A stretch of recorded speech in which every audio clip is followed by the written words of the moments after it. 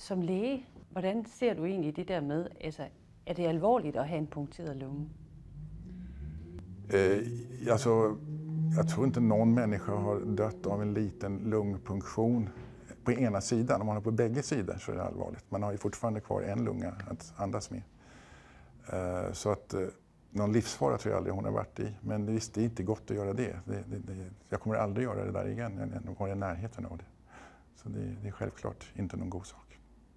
Och det, jag skammer mig över det, det ska jag säga att det, det gör jag.